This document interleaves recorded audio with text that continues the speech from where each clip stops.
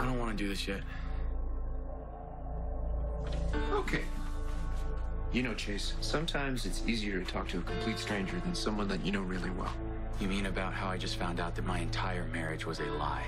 Yes. Since you and I have already started talking about that, why are we even bothering to go back in there? Why don't we just get out of here, go get a beer? My wife is sleeping with a guy that used to be my best friend. I need to face them. It's time to end this.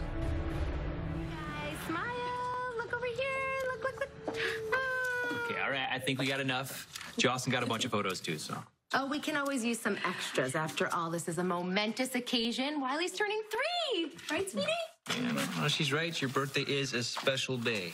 Yes, yes. You get to celebrate being three, and we get to celebrate you. Aw, an ideal family photo. There you are. I've been asking about you. Uh, you're just in time to open presents. Where have you been? Oh, that's funny. I was going to ask you the same thing. Were you looking for me? Because I was looking for you. You're being awfully kind tonight. Should I be worried about some sinister ulterior motive? More like a gesture of sympathy since you're about to lose your spot as CEO. Oh, I see. Well, I'm not worried. Oh, because of your new interloping buddy? Think you have Austin in your hip pocket? Where's that guy anyway? Casing Lila's silver. He does seem to have a bit of a chip on his shoulder where the Quartermaines are concerned, which I will exploit without mercy when he proves his claim to ELQ voting shares.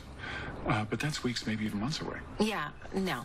Austin is here now, and he intends to cash in, and you intend to be his co-conspirator. Okay, look at it this way.